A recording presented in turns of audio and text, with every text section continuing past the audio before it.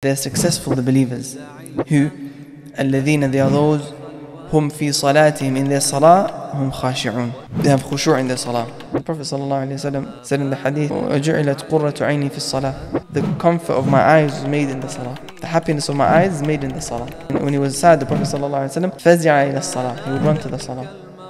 He would run, that was the first thing they would do, he would run to the salah. How can people find the, find the sweetness of the Quran properly, the way it's supposed to be? They don't know the Arabic, they don't understand it in the first place. Assalamu alaikum wa rahmatullahi wa barakatuh. I'm your host Adil Hafiz and I welcome you back to another episode of the CRM podcast. And Alhamdulillah Rabbil Alameen, once again you are joined by our Ustad Yasin Hafizahullah Ta'ala. And this time, inshallah, we're going to get straight into it. Bi'idhnillah. Assalamu alaikum wa rahmatullahi wa barakatuh. How are you doing. Ustad? Alhamdulillah, khair, alhamdulillah. Allah, it's always lovely to see you every week. too, Jazakallah khairan. Allah Jazakallah yabarak khairan. feek. Hassanallahu. Mhm. So the topic, inshallah ta'ala, today that inshallah ta'ala that today that I wanted to discuss is the topic of khushu'. And that's because quite a lot of people they struggle with it. Some people didn't even know the true meaning of khushu'. So inshallah ta'ala, if you could just quickly, briefly give us an introduction to the topic, bi'idhnillah. طيب بسم الله الرحمن الرحيم الحمد لله رب العالمين وصلى الله وسلم وبارك على عبده ورسوله نبينا محمد وعلى آله وأصحابه أجمعين أما بعد رب اشرح لي صدري ويسر لي أمري واحلل عقدة من لساني يفقه قولي uh, The topic of khushu' the scholars they say the khushu' is lubu salah is the, the the foundation of the I mean is the is the in, the main intention behind the salah and having khushu' in the is something that Allah Azza wa Jal uh, praised in the Quran. Allah said in the Quran, قَدْ أَفْلَحَ الْمُؤْمِنُونَ الَّذِينَ هُمْ فِي صَلَاتِهِمْ خَاشِعُونَ They're successful, the believers. Who? الَّذِينَ They are those هُمْ فِي صَلَاتِهِمْ In their salah, هُمْ خَاشِعُونَ They have khushu' in their salah. Right? And Allah subhanahu wa ta'ala uh, mentions about the وإنها لكبيرة إلا على الخاشعين الذين يظنون أنهم ملاقو ربهم وأنهم إليه راجعون. So he praises those people of khushu' in the Quran, different places. And in the ayah in Surah Al-Baqarah, mentions a reason, a way to get khushu'. Um, so no doubt, the person's salah is uh, goes up in levels in terms of its reward, in accordance to how much khushu' he has.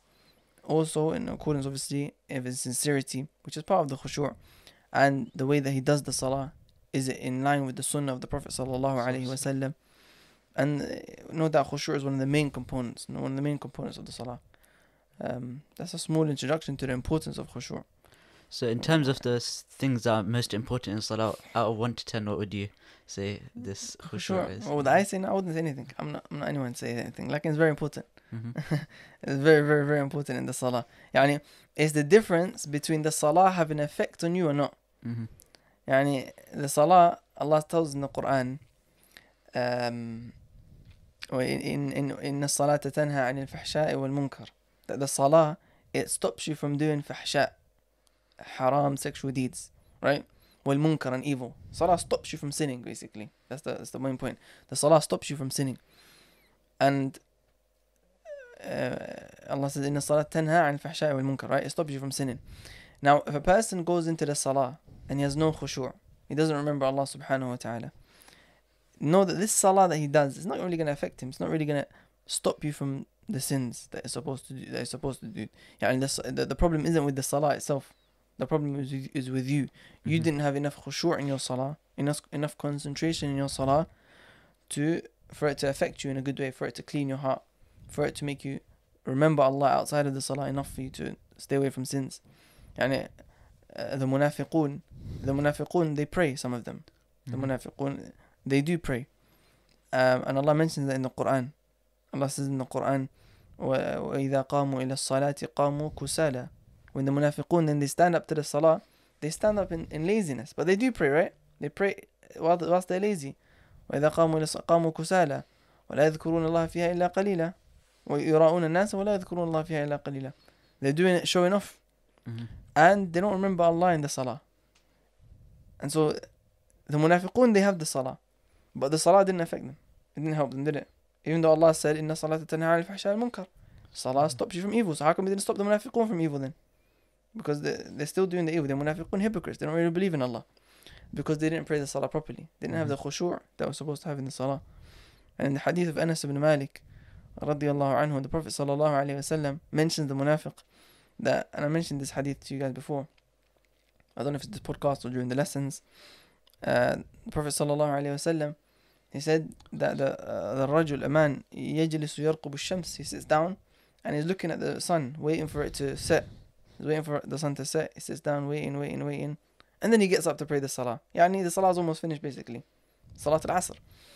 ثم يقوم وينقر أربع رك and then he does يركع he does quickly four ركعات quickly very fast Mhm. right like a like a like a chicken pecks the Mhm. ground right and he says لا يذكر الله فيها إلا قليلا they don't remember Allah in the salah Prophet صلى الله عليه وسلم said about that تلك صلاة المنافق تلك صلاة المنافق تلك صلاة المنافق that's the salah of the munafiq three times he said that so the point is that they do pray but the, the salah is not affecting them and the way that the salah is going to do the job that is mentioned in the Quran for you in your heart by يعني the job of preventing you from sins is when you have khushu' in the salah when you're concentrating you know what you're doing you know what you're, what you're reciting. Because in that situation when that happens now after the salah eh, during the salah you remembered Allah. After the salah that remembrance of Allah continues. Mhm. so if you're in the salah you can't remember Allah. Do you think you're going to remember Allah outside of the salah? No. So if a sin prese- presents itself in front of you person who prayed the salah properly you'll be like okay I remembered I just prayed. Or I remember Allah. So he's going to stay away from that sin. Another person, the sin, the sin pre- presents itself in front of him, and they do it. They don't remember Allah. The salah didn't affect them. Uh, that's very profound. So inshallah, I want to take this strategically, inshallah ta'ala. And often people, they need visual steps, practical steps that they can take in order to t- attain this khushu'. So inshallah, we can go strategically. What can a person do before this salah in, salah in order to make it, you know, proper and to have khushu' in it? Mm. Before the salah, uh, to have khushu' in it, a lot of things are mentioned. Uh, the first thing I would say is knowing the meaning of the salah. Knowing the meaning of the salah. Obviously, the main thing that we do in the salah is reciting the Quran. And we do adhkar. Prophet sallallahu alaihi wasallam said, إن هذه الصلاة لا تصلح فيها شيء من كلام الناس إنما هو التسبيح والتكبير وقراءة القرآن. This salah, it doesn't, it's not befitting for, for it to be inside of it any any speech of human being. The speech of the human being should not be in the salah. It is only tasbih, subhanallah, والتكبير saying الله أكبر والتهليل saying لا إله إلا الله إنما هو التسبيح والتكبير وقراءة القرآن not تهليل sorry الله أعلم double check تهليل وقراءة القرآن so it's only تسبيح تكبير and قراءة القرآن reciting the Quran that's what the salah is so a person the main thing that we're doing in the, in the salah is the Quran understanding the meaning of what you're reciting what, what are you reciting the pillar of the, of the salah is Surah Al-Fatiha so I would say one of the main things that a person needs to do before they enter into the salah in order to gain khushu' is learn the meaning of Surah Al-Fatiha Mm-hmm. learn the meaning of it, contemplate it. Go to a class, listen to a, the tafsir of Surah Al-Fatiha from a from a, from a, from a class of tafsir where they explained it. Understand its meaning, ponder over its meanings. The Surah Al-Fatiha. Uh, then after that also, learning the meaning of the actual salah, other parts of the salah. What does Subhana Rabbi al-A'la mean? Mm-hmm. Yani Subhana Rabbi al-A'la, it means Allah is above every imperfection. That's that's the word subhan, that's what it means. Allah being above all imperfection. Whatever they attribute to Allah. They say that Allah has a son. Allah is above that, subhanallah. Allah is above all imperfections. There is no nothing that they attribute to him except that he's above it. Al-A'la is one of his names, the most high. He's the most high, is above everything. Physically, Allah subhanahu wa ta'ala is above his throne. Allah subhanahu wa ta'ala is above everything. Wal-qahr. In terms of his power, Allah subhanahu wa ta'ala is above everything in terms of his uh, uh, يعني he's overpowering everything القدر والقهر right uh, سبحان ربي الأعلى just that if you understand that سبحان ربي الأعلى سبحان ربي العظيم same thing but instead of الأعلى you say العظيم Allah is above everything exalted is Allah above all imperfections the most great when you go into uh, ruku' you understand that you're you're, you're bowing yourself down to the great majesty of Allah Azza wa Jal and then you say Sami Allahu liman hamida. Allah hears and responds to the one who praises him. And if you Mhm. praise Allah, you say Alhamdulillah, Allah will, will respond to your dua. So what you say, Rabbana wa lakal hamd. Oh Allah, to you is all praise. Then what do you do? You go into sujood. The position after you've just praised Allah, which is a reason for Allah to accept your, accept your dua, You go into sujood, which is the position the Prophet ﷺ said, فَأَكْثِرُوا فِيهِ مِنَ الدُّعَى فَقَمِنُوا أَن يُسْتَجَابَ لَكُمْ Do a lot of dua because it's very likely going to be responded to. So how many how many reasons for your dua to be accepted have you got right there?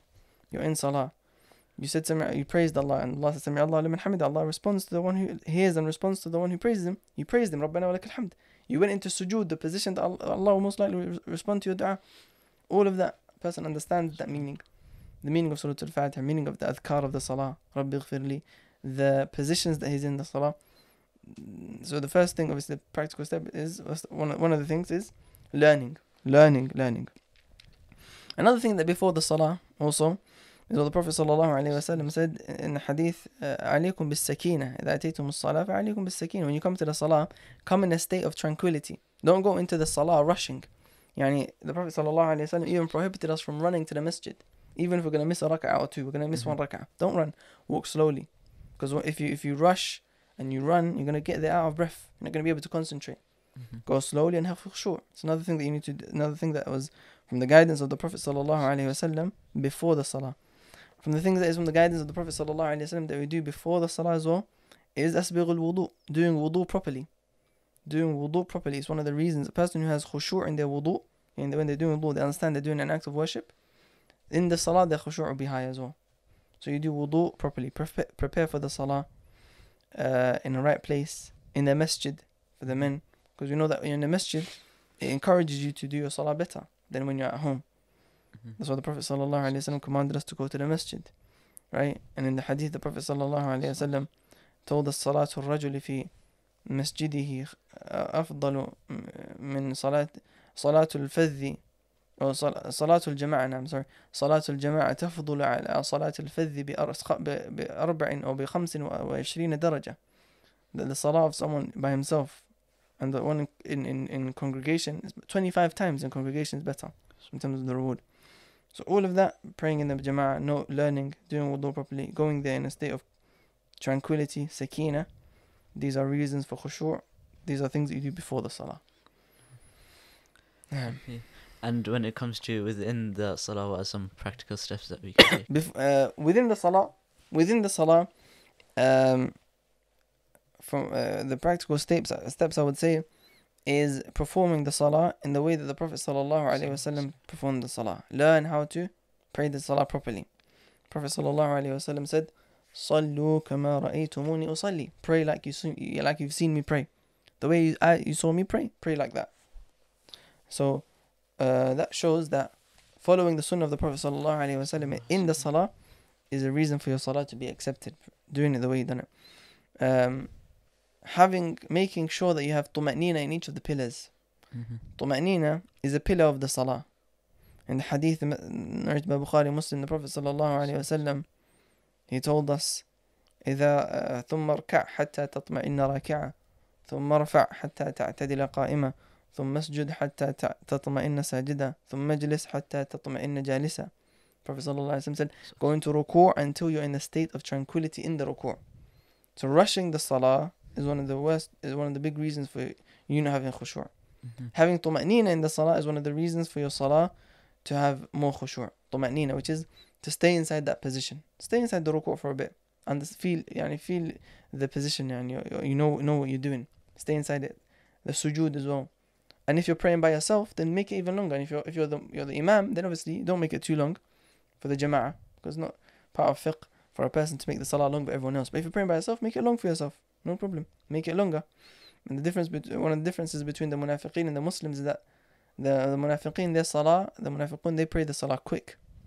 They don't remember Allah in the salah. And the, as for the person, the believer, the believer, they pray the salah with tuma'nina. And by that, you're going to find the leather in the salah, the sweetness of the salah.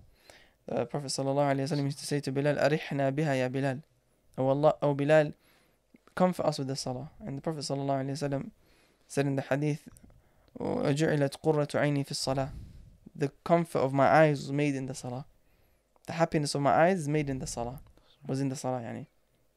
I find the Prophet ﷺ كان إذا فزع فزع إذا إذا حزن when he was sad the Prophet ﷺ فزع إلى الصلاة he would run to the salah he would run that was the first thing they would do he would run to the salah and he would be, he would pray in the salah like for so long till the feet his feet حتى تتفطرت قدماه his two feet would start to bleed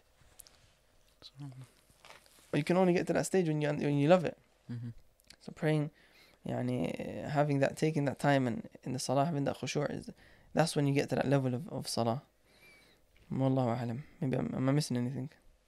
Is any questions about that? Huh.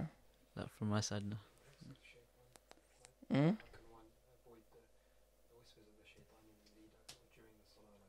No, avoiding the whispers of the shaitan. Mm, avoiding the whispers of shaitan, that's gonna come to you in the salah naturally, comes to you. But person, the, more person has khushu' in the salah, they, this is this is the opposite of khushu'. The whispers of shaitan. The more a person has khushu', the more he's gonna fight away those those whispers of shaitan, and he needs to ignore them as well. If it's waswas, they need to ignore the waswas. Someone who does wudu too much, he thinks, okay, have I done it properly? Yes, no, yes, no. Keeps thinking to himself, this, this is some shaitan as well. He said he has to ignore it. That's in the salah, wallahu alam. God lift anything else. So once we finish the salah, is there any anything that we can do to يعني maybe improve next time or يعني anything that we can take away after we've prayed? After the salah, the Prophet sallallahu alaihi wasallam told us that أو عائشة رضي الله عنها كان said كان النبي صلى الله عليه وسلم إذا انصرف من الصلاة استغفر ثلاثا. Prophet sallallahu alaihi wasallam after he finished the salah he would ask Allah to forgive him three times. Astaghfirullah. So the adhkar, starting off with the istighfar. اللهم أنت السلام ومنك السلام تبارك يا ذا الجلال والإكرام. Not just leaving straight away. Don't be Mhm. from those people who just run leave straight away, especially if you can. Obviously, if you have a job or something like that, no, no problem if you need to go. Like in uh, one of the ways to the completion of the salah is to make sure you do your adhkar after the salah. Uh, asking uh, those adhkar 33 times or 10 times. Uh, the morning and evening adhkar, if it's after Maghrib or after Fajr, doing it at that time is also good. Um, so after a person finishes the salah, uh, you know, staying inside the, that place that he's sitting is one of the best things you can do. Mm-hmm. Making adhkar. And in the hadith, the Prophet ﷺ said, What? The angels, they ask Allah to forgive you. And they say, Allahumma lahu, Allahumma arhamhu. Oh Allah, forgive him. Oh Allah, have mercy upon him. Oh, ma lam yuhdith. As long as you don't lose your wudu or move from your place. Meaning, as long as you sit in your place, the angels are making dua for you. One of us, يعني when someone's going uh, Umrah, Mecca or Medina, that's a big dua for me, right? hmm What about if the angels of Allah are making dua for you? That's a big thing. So make, they're making dua for you as long as you sit in the same place after the salah. Allahumma ghafir lahu, Allahumma arhamhu, Allahumma ghafir lahu, Allahumma. Allah forgive him, Allah have mercy upon him. Allah forgive him, Allah have mercy upon him. Consistently. So it's a huge virtue, sitting down in the, in the masjid.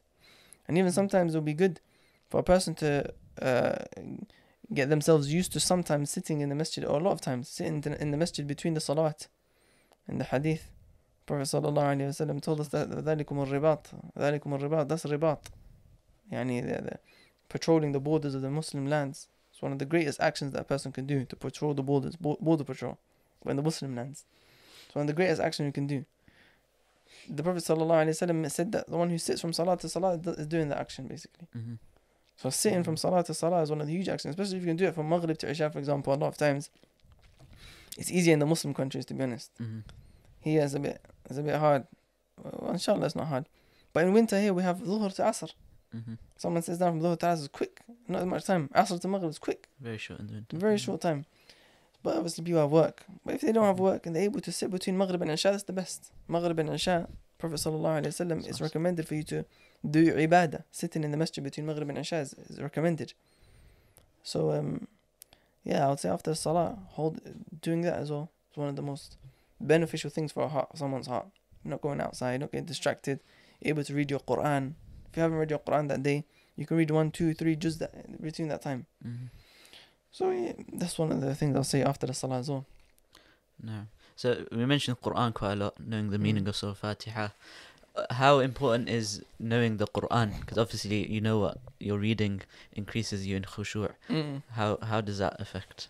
No, obviously it increases your khushu' if you understand what you're reading, right? How was uh, that's why Ibn Jarir al-Tabari he was he wasn't even talking about people who don't understand Arabic. He's talking about people who do understand Arabic. He said, I don't know about I don't know how people can read the Quran and find its sweetness if they don't when they don't know the tafsir. They don't, and he's talking about Arabs and people who already know the Arabic of the Mhm. Quran. They understand it, but they don't know the tafsir of it. How can you find the sweetness? So we say, how can people find the, find the sweetness of the Quran properly, the way it's supposed to be? if They don't know the Arabic. They don't understand it in the first place. It's hard. hmm But no doubt the Quran has an effect on everyone, even if they know Arabic or not. You're just Yeah. listening to it. You're just as listening to it. It's Mhm. amazing. No doubt there's high levels learning the Arabic, then learning the tafsir and understanding different levels. That's why the إنما يخشى الله من عباده العلماء. The people who fear Allah the most the ulama, people who know. Mhm. Because they know the Quran, they understand it. So understanding the Quran is um yeah, is very, very, very important in the salah uh, for you to have khushu'. No. Also, another point is uh, dua. You mentioned, and in this in the times that we're living in, dua is something that's uh, very important that we do, and sometimes people underestimate Mm. the power of dua. How uh, how really powerful is dua? Allah dua in the salah is uh, one of the one of the one of the maqasid, one of the intentions in the sa- in the salah is dua. Mm, And one of the, the Surah Al-Fatiha at the end of it we say Ameen, hmm which is Allahumma stajib, oh Allah respond. I mean respond to this dua that we just made. And the hadith the Prophet sallallahu alaihi wasallam told us in the sujood فَقَمِنٌ إِنْ اسْتَجَابَ لَكُمْ For you to make dua in your sujood is likely for you to be responded to. And Allah subhanahu wa ta'ala generally if you speak about dua find that Allah Azza wa Jal is Kareem, the most generous subhanallah. يعني he responds to the dua of the one who calls Allah, Allah says in the Quran وقل لعباد Allah says in the Quran قال ربكم ادعوني أستجب لكم Your Lord has said call upon me I will respond to you إن الذين يستكبرون عن عبادتي سيدخلون جهنم داخرين Those people who are arrogant, too arrogant to make to do ibadah, meaning to make dua, they'll enter into the hellfire. And Allah says, uh, وإذا سألك عبادي عني فإني قريب. When my slaves they ask you about me, then say to them, I'm near. إني قريب أجيب دعوة الداعي إذا دعان. I respond to the call of the caller when, when he calls. hmm Allah responds to that. نبئ عباد نعم إني أجيب دعوة الداعي إذا دعان. I will respond to the call of the caller when he calls. So making dua in sujood is actually one of the is an important point within the salah of attaining khushu' because it's that conversation, not, not conversation, it's asking direct linked between you and Allah subhanahu wa ta'ala when you're making dua, directly asking Allah Azza wa Jal. And the effect that it has on the heart is, is something else. And scholars they even say that sometimes a person will go through a, ch- a calamity and they're making dua so much during that calamity that they wish they would never go away. They're Mhm. happy that the calamity is there. Because Mhm. when it does go away, they realize, subhanAllah, I was making so much dua at that time and my iman was so high and I felt the sweetness of iman at that time. That's one of the importance of dua. No, Yeah, it's very important. Now, just a few questions, inshallah, regarding Mm. the prayer itself. The first one is regarding this uh, saying "Sami Allah liman hamida" when you're behind the imam. Mm. Is that do we say that or do we go straight to "Rabbana wa lakal hamd"? Wallah, there's difference of opinion Mhm. amongst the scholars. Do you say Sami liman hamida or not? And if someone does it, no problem. If someone doesn't do it, no problem, inshallah. ta'ala. Allahu alam. We're in a, we're in a masjid that believes that you do say it Mhm. No. This masjid, the madhab of this masjid is that you say Sami Allahu liman hamida Mhm. and with after the imam. Okay. From what I know of this, no. Mhm. Uh, and uh, the the majority of the scholars say no, you don't say it. Mhm. Because the pro- hadith the Prophet sallallahu alaihi wasallam said, وإذا قال سمع الله لمن حمده فقولوا ربنا ولك الحمد. When the Imam says سمع الله لمن حمده, you say ربنا ولك الحمد. Therefore, you Mhm. just say ربنا ولك الحمد. Mhm. Uh, difference of opinion is strong. The evidences Mhm. are equal. Mhm. Allahu alam. Allah knows best. No. How do you attain uh, khushu' in, in your wudu? Yani when you're doing wudu, a person should understand uh, maybe one of the things that will help you is following the sunnah in it. Not just making it something I'm washing myself. So following the sunnah in the wudu. Starting with the right side, using little water, uh, doing it with the mouth and nose, doing all the sunnah, right? And number two, istihdar al-fadl, understanding the virtue of what you're doing. With every drop of water that, that, that comes down, sin is, is being removed. So understanding that virtue helps you have khushu' even inside the wudu because it's an act of worship.